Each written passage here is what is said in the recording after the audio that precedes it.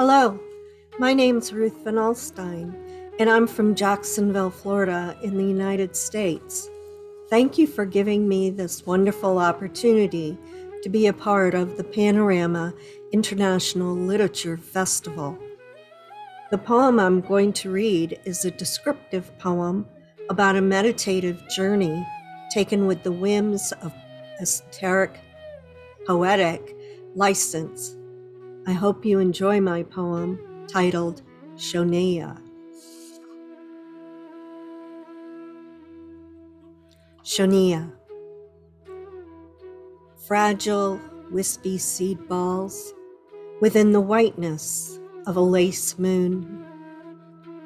Existence suspended in delicate balance. Survival dependent on turbulence. Waiting in ambiguous silence for the Moirai's whim or a gentle breath. Seek it within darkened corners, at the edges of consciousness, adrift on threads of solar winds.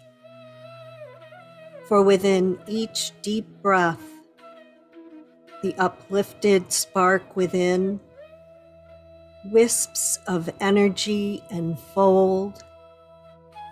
The dove soars over lotus blooms reality slips away.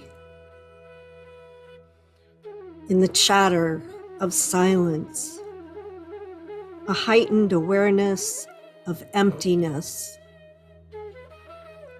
Its constant, insistent, pulsating energy floats with euphoric weightlessness.